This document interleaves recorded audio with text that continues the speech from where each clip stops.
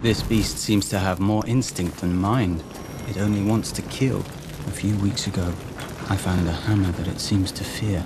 The weapon must be imbued with some magic that I don't understand. If such a beast fears it, I have every reason to fear it too. Better to lock it up in cell 11 to keep it safe.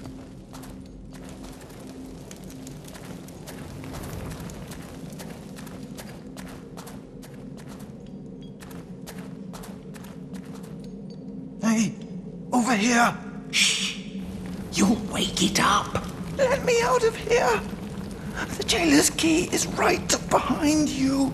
No! If you open his door, the sound will wake up the beast in my cell. What is going on here? We've both been trapped inside this prison because of him. He's the murderer, but he keeps putting the blame on me. That's because you are the murderer.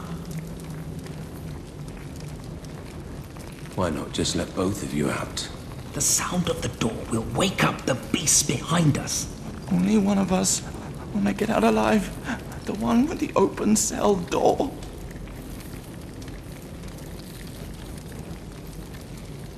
I need to go.